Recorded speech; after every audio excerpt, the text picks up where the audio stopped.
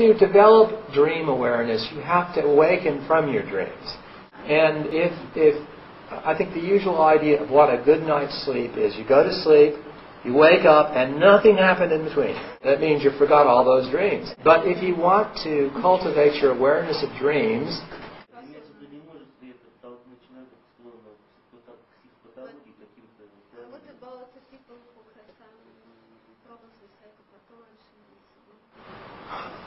I, I would not want to say that uh, a person with some kind of psychopathologic problem would not have some difficulties with lucid dreaming, because that same person is going to have problems with being in a seminar, being in any, in any social situation, right? And, and so some people will get into trouble in any situation. But I know of no specific difficulties arising from lucid dreaming, especially if you compare it with its alternative, which is non-lucid dreaming. People can be very frightened by dreams, yes? Sometimes people are in lucid dreams and then they say, ah, this, something's wrong, I'm stuck in another world, and, and they get frightened. Eh, But that's normally a failure of lucidity. And the fact that people may be frightened by those experiences is no worse than the fact that they're frightened all the time by nightmares. Uh, we have received on the order of 20 or 30,000 letters from people. Maybe three or four have spoken of finding lucid dreaming unpleasant. Uh, usually because um, they feel their lives are too busy. There's too much happening all night long, and, and it can be confusing then. But uh, I have found for people like that who have very vivid dream recall and, and have a lot of lucid dreams, what they need is they need some training about how they can use that beneficially. And that once they know how to do it, then they find it is a great talent, a benefit.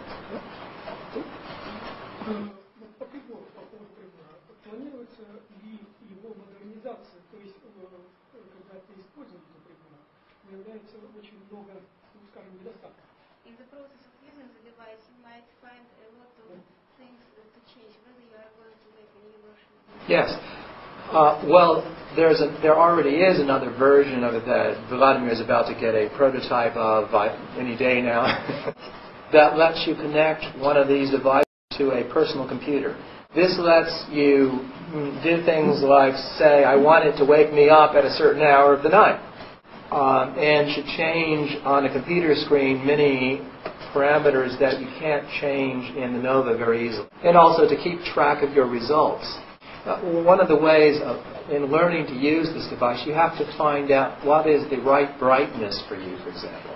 So this, for example, is uh, the dimmest setting for a light sleeper. And then here's the next one. This, I'm sorry, that that was actually the, the flexible mode The ad- adjustable mode. Here is the light sleeper, just four dim flashes. And here's the next for medium sleeper. And this for deep sleep.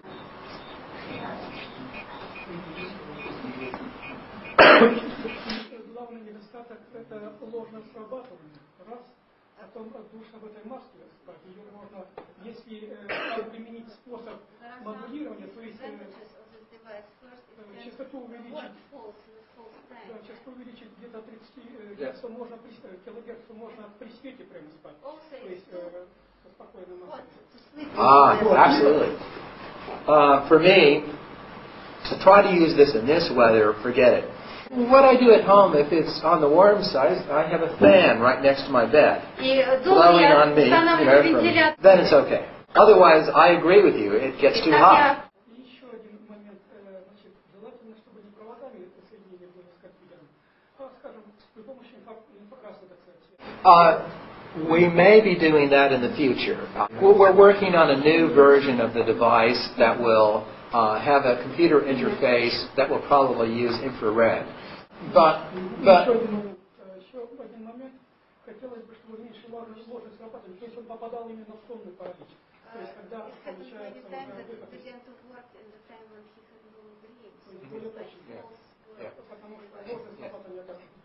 What that usually means is as you're falling asleep or having awakened, right?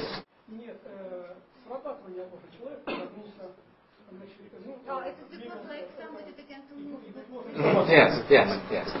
Uh, and, and, that's why what we recommend that people do is every time that they find themselves awake, they push the button once. Because uh, yes, it can. If you move your head, that may be enough to determine that you're dreaming. But wrong because it's an eye movement. I'm, I'm hoping that in the next version we'll be able to discriminate better between the eye movements that are made with a body movement and while you're awake blinks compared to REM sleep. This, we understand your point that that is a, a deficiency that the device could work better now. Поэтому, если связь будет хотите, чтобы второй человек, знает форму, which can чтобы второй человек Yes. видел точно, потому Yes, что yes. есть That- приборы, которые точно определяют. Вот, например, я могу определить за, через, за две секунды, что начался осознанный сон.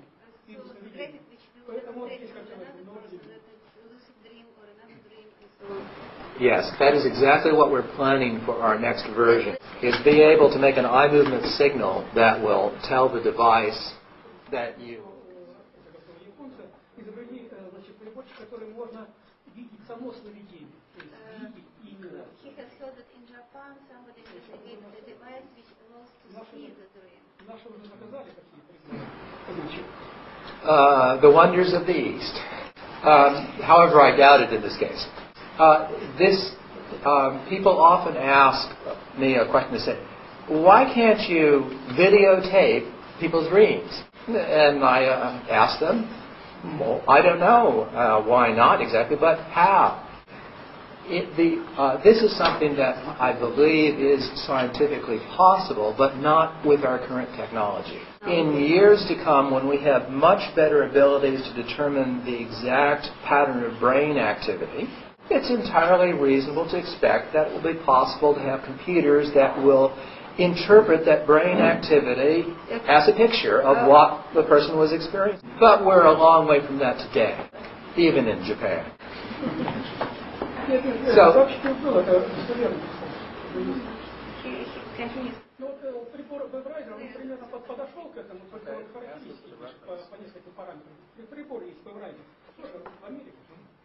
Значит, э, работает на принципе, снимает характеристики тела. Uh, well, then all I can ask you is to send me the information so I can read it. And a paranormal explanation. I, I'll just say that as for the paranormal explanation, who knows? But, but one normal explanation that comes to mind is before that, sometime in the middle of the night, you got out of bed in your sleep and did it. But, but what I'm saying is, is so in the morning you have a dream that there's something in your hand, and then it turns out that there is.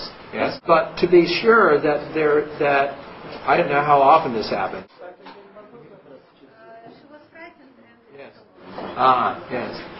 Um, well, um, if you're, if you can be confident that the explanation that you didn't get up in the night and do this and then have a dream that it was there and so on, that w- when I said there was a normal explanation, that's what that would be. But I also said at the beginning that may not be the explanation.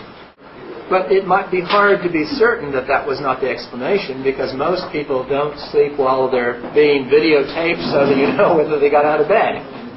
And the problem is that people don't remember what they did normally when they are sleepwalking. They have no recollection at all. And that's why that you could conceivably have done something like that and have no recollection at all except for where did this come from?